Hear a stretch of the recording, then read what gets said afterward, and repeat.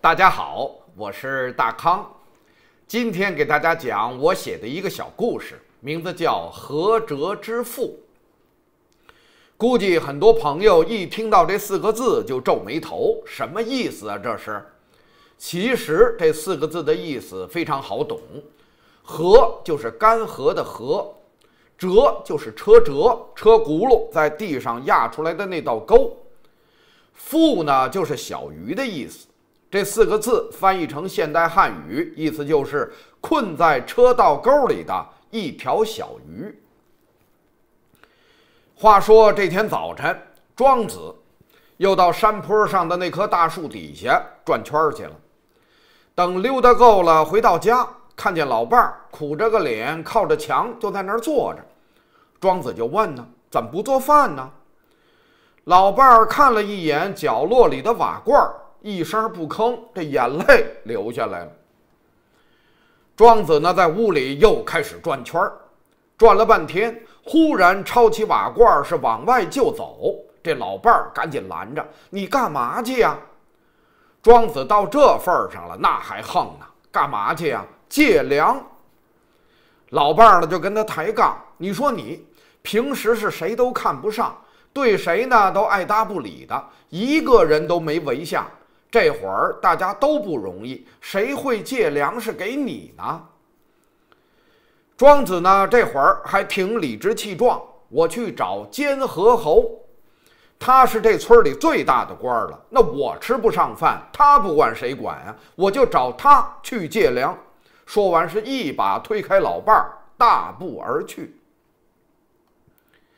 说到监河侯。那就是政府任命的管理河道的一个小官儿。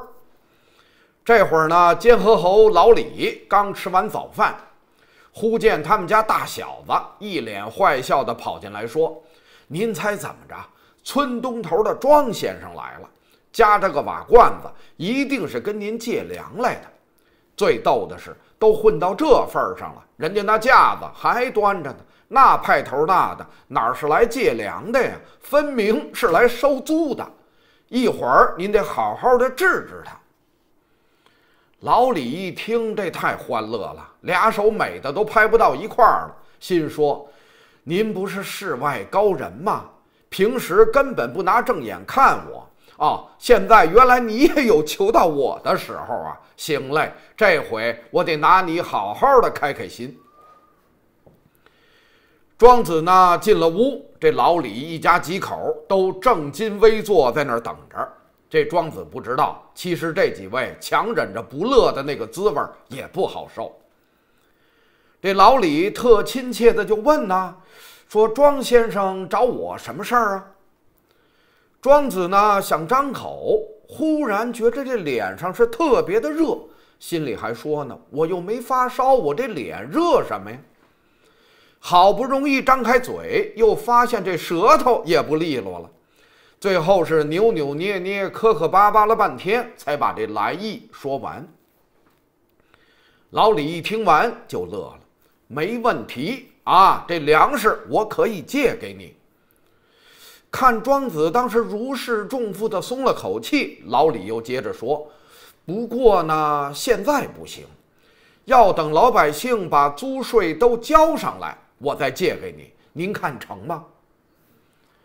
庄子一听，马上就要急眼，有心是起身拂袖而去，但肚子里呢一阵的咕咕乱叫，忍了忍，又坐下了。他对这一脸不好意思的老李说：“说刚才呢，我在来你这儿的路上碰上了一件事儿。我当时正走着，突然听见有呼喊救命的声音。”我当时顺着声音找过去，仔细找了半天，发现原来是困在干涸的车道沟里，有一条小鱼在呼喊。这小鱼呢，一看见我就跟看见救星一样，向我求救。那当时我就问呢：“小鱼呀，你怎么困在这儿了呢？”小鱼回答说：“我原本住在东海，今天不幸困在了这个小河沟里，眼看就要干死了。”求先生给我一点水，救救我的命吧。这老李就爱听个故事，这会儿呢也听入了神，赶紧就问呢：“那您给小鱼水了吗？”庄子冷笑着说：“我当时跟小鱼说了，好吧，等我去趟南方，去劝说吴越两国的国君，把长江的水引来救你。你呢，还可以顺着水回到东海去，你看怎么样啊？”老李听到这儿，立刻就急了。他觉着庄子的办法那简直太荒唐了，结果忍不住就插嘴说：“那怎么可能呢？”庄子这时脸上的冷笑已经变成了讥笑。是啊，小鱼听了我的主意，当时就气愤地说：“我现在马上就要干死了，你只要给我一点儿水，我就能活命。如果等你引来长江的水，那你只能到卖鱼竿的店铺去找我了。”庄子说到这儿，哆哆嗦嗦地站起身来，抄起他那个瓦罐就往外走。可能是坐久了，他发现自己的脊背都直不起来了。这个故事来自庄子的《外物篇》。这个故事到这儿就算是完了。那大伙儿肯定问呢：那庄子最后到底借到粮没有啊？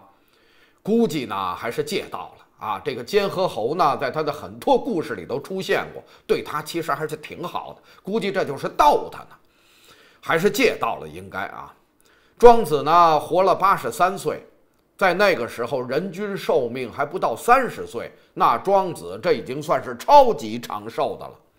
而且那会儿又是乱世，要是没有周围大伙儿和学生们接济，他早就饿死了，怎么可能活这么大的岁数？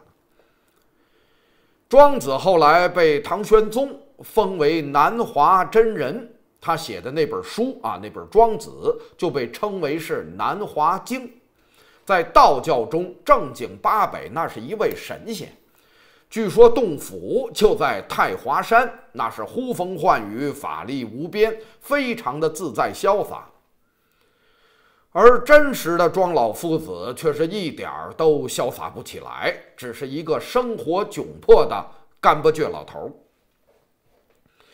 那庄子到底是靠什么谋生的呢？有一说呢，庄子曾经当过七元吏，这是个什么差事呢？估计就是个管理员，甚至就是个看大门的。但后来呢，嫌这个差事也也也嫌烦啊，也不干了。后来还编过草鞋，但我估计要说卖，那肯定得是老伴儿去了。一个呢是他拉不下脸来，另外就他那脾气，一张嘴那就得罪人，他哪卖得出去？可以说呢，在庄子人生的大部分时间，他基本就是个无业游民、闲人一个。用现在的话说，这就是一个天天在家坐着的职业作家。其实庄子是有过机会的，有一说呢是一次，有一说是两次。第一次机会，这还算是个半个成语，叫“庄子垂钓”。说当时庄子正在濮水钓鱼，楚威王听说了庄子的大名，就派两个人前来请庄子去做官。当时两个人就毕恭毕敬地站在庄子的身后，郑重地说。我们大王要把国家的政务托付给您，麻烦您去一趟吧。庄子呢，当时拿着鱼竿，这头都没回。当时说了：“我听说你们楚国有一只神龟，死了有三千多年了。国王呢，用锦缎把它包起来，供在宗庙的殿堂上。你们说，如果你要是这只龟的话？”你是愿意死了让人供着显示尊贵呢，还是宁愿活在烂泥里拖着尾巴打滚呢？两位大夫当时一块儿说：“我宁愿活在烂泥里拖着尾巴打滚儿。”庄子说：“这不得了吗？我也宁愿在烂泥里拖着尾巴就这么凑合着赖活着。所以你们就回去吧。”这是第一次。没想到这楚威王呢，还是个拧脾气，这回是动了真格的了，派特使备千金厚礼那前来，请庄子到楚国去做宰相。结果庄子呢，还是不好好跟人家说话，还是给人家讲故事。他跟人家讲，千金，嗯，这算是重礼了；相位，这也算是尊贵至上了。可是，你们见过祭祀用的牛吗？人们把那个牛养肥了、养大了，祭祀的时候是披红挂彩，还不是牵在太庙一刀杀了来做祭品吗？我可不愿意当那头牛，结果又把人家给轰回去了。这次的经历呢，这算是个正经成语，叫遇牛辞相。当然，这两件事儿呢，也甭管它是真的还是假的，反正到头来，庄子是哪儿都没去。不过呢，也幸亏是没去，要不然的话，楚国就会多一个平庸无聊的官吏，而中国就失去了一个大思想家、一个大文学家，这个买卖也就太不合算了。下面咱们漫谈几句。作为一些读书人，一直呢就有这么一个问题：眼见着社会上到处都是追名逐利。充满了恶俗和铜臭气，官场上呢又都是明争暗斗啊，充满了那种拍马屁、站队文化，充满了那种肮脏与龌龊。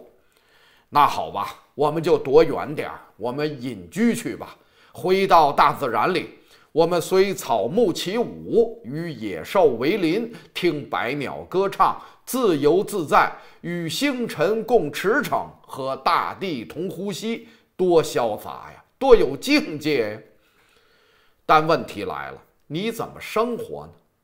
在远离尘世的山林之间，你怎么活下去呢？山水田园之中，还是有现实问题的。你像“采菊东篱下，悠然见南山”，这个境界确实是高远，但如果后边两句配上两个象声词，“肚子咕咕叫，孩子哇哇哭”。那恐怕就什么境界都没有了。美好的心态来自你健康的身体和正常的生活。如果你自己穷困潦倒，连生存都成了问题，那还谈什么著书立说呢？你像庄子隔了多少年的弟子陶渊明，也有过同样的问题。当年陶老师不为五斗米折腰，拍案而起，爷我不干了，爷我不伺候了。原因非常简单，不为五斗米折腰，因为我有。当时家里有方宅十余亩，草屋八九间，榆柳荫后檐，桃李满堂前。这一听，这绝对是个小康之家，五斗米确实是不算什么。可到后来，这日子是越过越不行。陶老师呢，逐渐也从职业作家、业余农民，慢慢的就变成了职业农民、业余作家。为了养家，每天是辛辛苦苦、早出晚归的修理地球。那诗写的也就一般了，那境界也就慢慢下来了。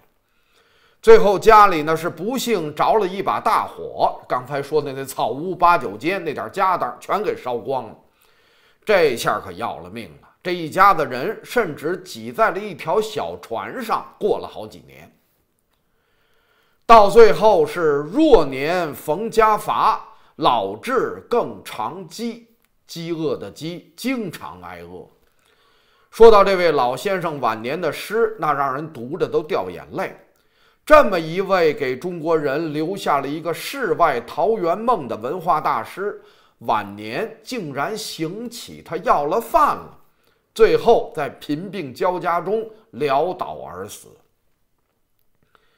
所以说呢，作为一个读书人，你有没有谋生的本领，能不能养活自己，这是个问题。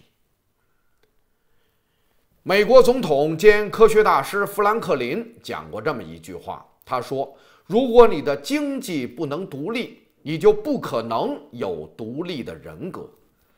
这句话我自己就有亲身的经历，是深有体会。我一直认为，你像当官的，特别是一个知识分子，如果你被人所豢养，需要成天看着老板的脸色行事，那你根本就不可能有独立的人格和精神，你也就写不出什么像样的东西来。这话呢，其实也用不着美国人说，中国很早时候就有人有这样的见识。比如说那位小时候砸缸救人，长大了写《资治通鉴》的司马光。司马老师呢，当过宋朝的宰相。那时候很多人刚进朝廷的时候，人家是宰相嘛，那你一定要去先拜访他。这位司马老师呢，没架子。总是和对方呢是亲切的谈心，但谈着谈着，他总会问对方一个非常使人难堪的问题。他问人家：“你家里有没有钱呢？你现在的开支够不够啊？你有没有欠别人的钱呢？诸如此类的吧。”这被问的人呢，出来以后都很奇怪。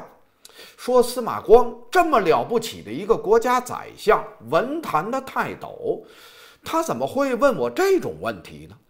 难道是在向我暗示、向我索贿不成吗？大家在底下是议论纷纷，慢慢的这事儿就捅到了神宗皇帝耳朵里去了。皇帝是怎么也不相信司马老师会逮谁跟谁要钱。那既然大家议论，那就问问吧。结果这一问，大家才知道原因。司马光问这个问题的意思是：你这个人有没有钱？能不能自己养活自己？能不能不为五斗米折腰？能不能不被一般的糖衣炮弹所腐蚀、所诱惑？你有了这个本领、这个钱以后，他才认为你有独立的人格，而有了独立的人格，他才会考虑给你官做。随时可以丢掉乌纱帽，为了我的原则，随时我可以不做官，随时可以挂官是飘然而去。为什么呢？因为我不会饿死，我有钱有本事，可以保护我的自由，所以。有没有经济基础，才可以决定一个人他有没有独来独往的人格，才能决定一个人他能不能做好人、做好学问、做好官。这就是司马老师的标准。说到这位司马老师的标准，其实还还是真管用的。说到古往今来，你说那些贪官污吏，大家细查，基本都是贫家子弟。后来，政治经济学里也有一句同样的话嘛：“经济基础它决定上层建筑。”这还是有道理的。说来有很多的文化人呢，一无所长啊，就是书呆子，老被人调侃说什么“百无一用是书生”。